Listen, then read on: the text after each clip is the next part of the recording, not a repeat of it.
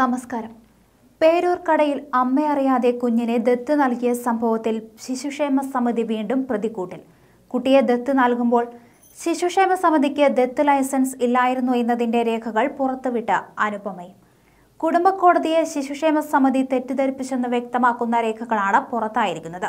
കുട്ടിയെ ആന്ധ്രാപ്രദേശ് ദമ്പതികൾക്ക് ദത്ത് നൽകൽ നടപടിക്കായി തിരുവനന്തപുരം കുടുംബ കോടതിയിൽ സംസ്ഥാന ശിശുക്ഷേമ സമിതി സത്യവാങ്മൂലം നൽകുമ്പോൾ സമിതിയുടെ തിരുവനന്തപുരം ദത്തെടുക്കൽ കേന്ദ്രത്തിന് ദത്ത് ലൈസൻസ് ഇല്ലായിരുന്നുവെന്ന് അനുപമ ആരോപിച്ചു.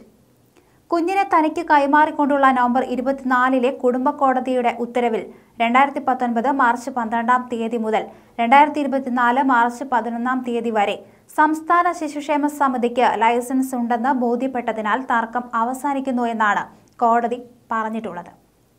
സമിതിയുടെ കീഴിൽ കൊല്ലത്ത് പ്രവർത്തിക്കുന്ന സ്ഥാപനത്തിന്റെ ലൈസൻസ് കാണിച്ച് ശിശുക്ഷേമ സമിതി അധികാരികൾ കോടതിയെ കബളിപ്പിച്ചതാണെന്നും അനുപമ പറഞ്ഞു. ബാലാവകാശ കമ്മീഷനിൽ ശിശുക്ഷേമ സമിതി നൽകിയത് ഓർഫനേജ് രജിസ്ട്രേഷൻ മാത്രമാണ്. കൃത്രിമ ലൈസൻസ് കോടതിയെ കാണിച്ച് ജില്ലാ ഗവൺമെന്റ് പ്ലീഡർ തിരികെ വാങ്ങിയെന്നാണ് അനുമാനിക്കാൻ താൻ കുടുംബ കോടതി സമിതിയും വകുപ്പും നൽകിയിട്ടുള്ള മുഴുവൻ രേഖകളും ലഭ്യമാക്കുന്നതിന് അപേക്ഷ നൽകി ദിവസങ്ങൾ പിന്നിട്ടിട്ടും തരാൻ കഴിയില്ല എന്ന നിലപാടാണ് ഇതിൽ വലിയ ദുരൂഹത നിലനിൽക്കുന്നതായും അനുപമ പത്രസമ്മേളനത്തിൽ ആരോപിച്ചു.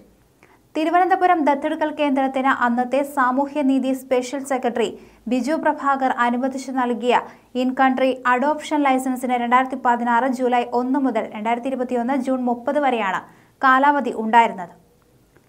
നിലവിൽ സമിതിക്കുള്ളത് സ്പെഷ്യൽ സെക്രട്ടറിയുടെ രണ്ടായിരത്തി പതിനേഴ് മുതൽ അഞ്ച് വർഷം കാലാവധിയുള്ള പത്തൊൻപത് പന്ത്രണ്ട് രണ്ടായിരത്തി ഇരുപത്തിരണ്ടിൽ അവസാനിക്കുന്ന സ്ഥാപനത്തിന്റെ ഓഫനേജ് അംഗീകാര സർട്ടിഫിക്കറ്റ് മാത്രമാണ്. ഇതുപയോഗിച്ച് ദത്ത് നൽകാൻ കഴിയില്ല. ഇവയൊന്നും കോടതി ഉത്തരവിൽ പറഞ്ഞിട്ടുമില്ല. മറിച്ച് കൊല്ലം ദത്തെടുക്കൽ കേന്ദ്രത്തിന്റെ ലൈസൻസ് കാലാവധിയാണ് പറഞ്ഞിട്ടുള്ളത്. രണ്ടായിരത്തി പതിനാറ് മുതൽ രണ്ടായിരത്തി ഇരുപത്തി ഒന്ന് വരെ ഒരു ലൈസൻസ് നിലനിൽക്കെ രണ്ടായിരത്തി പത്തൊൻപത് മുതൽ മറ്റൊരു ലൈസൻസിന് അപേക്ഷ നൽകേണ്ട കാര്യമില്ലെന്നും അവർ ചൂണ്ടിക്കാണിച്ചു. ലൈസൻസ് തർക്കം തീർക്കാനായി സർക്കാരും ശിശുക്ഷേമ സമിതിയും ചൈൽഡ് വെൽഫെയർ കമ്മിറ്റിയും ചേർന്ന് കോടതിയെ കബളിപ്പിച്ചതായുള്ള ഗുരുതര ആരോപണമാണ് അനുപമ പത്രസമ്മേളനത്തിൽ ഉയർത്തിയത്. കേട്ടുകേൾവി പോലും ഇല്ലാത്ത ഗൂഢാലോചനയാണ് ഇത്. കോടതിയിൽ ഈ രേഖ നൽകിയിരിക്കുന്നത് ജില്ലാ ഗവൺമെന്റ് പ്ലീഡർ അഡ്വക്കേറ്റ് ഹക്കീമും ശിശുക്ഷേമ സമിതിയുടെ വക്കീലും ചേർന്നാണ്. വകുപ്പ് മന്ത്രി വീണ ജോർജാണ് രണ്ടായിരത്തി ഇരുപത്തിനാല് വരെ ലൈസൻസ് ഉണ്ടെന്ന് പൊതുസമൂഹത്തിനെ മാധ്യമങ്ങളിലൂടെ അറിയിച്ചത്. ഇത്രയും വലിയ ഗൂഢാലോചനയ്ക്ക് കൂട്ടുനിന്ന മന്ത്രിക്ക് ഇനി ഈ സ്ഥാനത്ത് തുടരാൻ അർഹതയില്ലെന്നും അവർ പറഞ്ഞു.